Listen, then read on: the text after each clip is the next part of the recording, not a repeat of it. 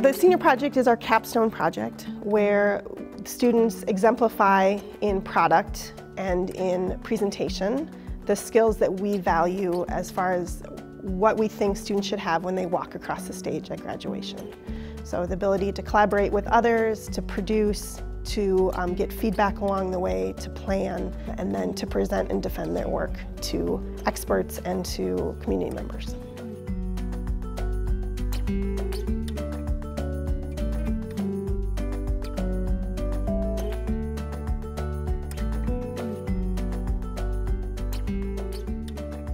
The full ex like executors of their work. So they have complete control in how they design their project, how they organize their work, how they organize their time, how they demonstrate their learning in a way that they can advocate for the work that they do and how they learn. They want you to find someone who's already pretty knowledgeable in whatever your project is about. So for me, I did photography.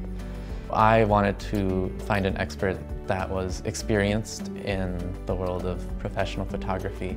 He kind of took me behind the scenes of what his work process is and how he got started. I learned a ton in my senior project and had I been going to a regular high school, there was no way I'd be where I am now.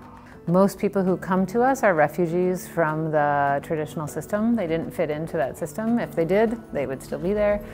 And a lot of them have come with some crushed spirits and, and, don't see themselves as learners or don't see themselves as skilled learners. And so when we open it up to, to this um, senior project and say, really, it can be about anything you want it to be about, and like get find success in school sometimes for the first time for some of them.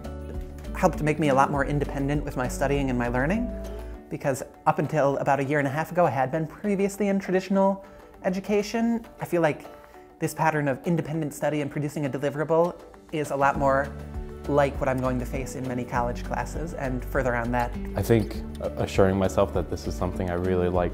When we're creating the projects, we have to have the focus of the learning in mind when we're starting out with it or else we can't really get the standards that we need.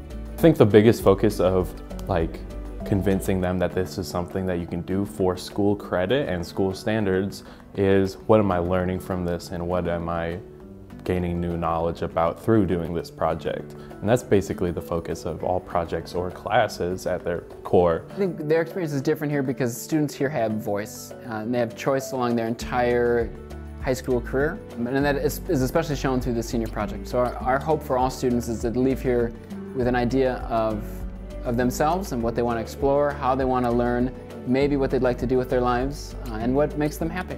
So that, that I think is very different than they would see in a more traditional model. I think it really places all the learning in the student's hands versus in a traditional setting where students may not even understand what the requirements are for graduation. So students really get behind the opportunity of teaching and sharing what they know and like getting other students to connect with it.